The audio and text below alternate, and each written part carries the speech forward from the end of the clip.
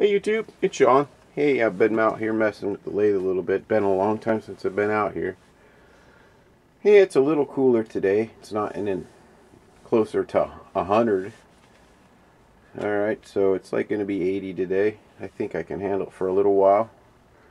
And we're working with the my uh, MX210. And uh, anyway, this is the second part on that six jaw chuck. I got it mounted up.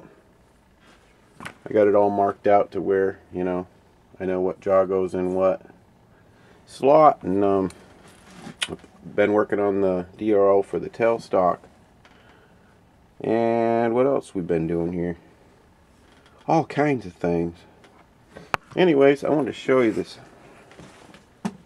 six jaw. I'm impressed. And hopefully y'all will be too. Let's turn it on. That's the needle movement I get. Turn it to zero. Let's shut it off. And we will zero it out best we can here. Right there, zero. Turn it on.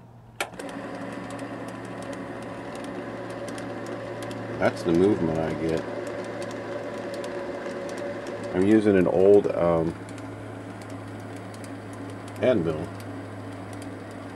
and uh, there's a few little lines in the end of it you know where it's gotten uh, grabbed on. But uh, let's try moving her up just a little. There we go.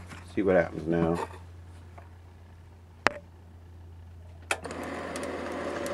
Not the same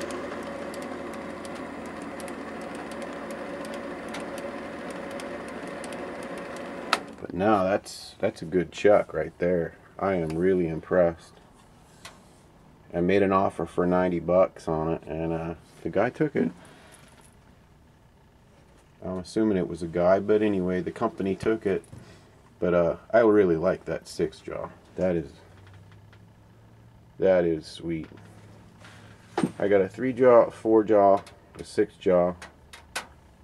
We think we're good, and then I still have the original, you know, I got another three jaw, a, uh, a little smaller one for smaller stuff. But that right there will do most of what all the rest of them will do except for the four jaw.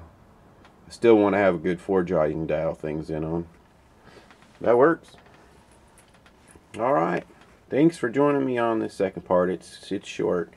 I got to get to work on a generator and a couple other uh, things and those will be coming up soon too. All right. Love you all. Take care. Thumbs up. Bye bye.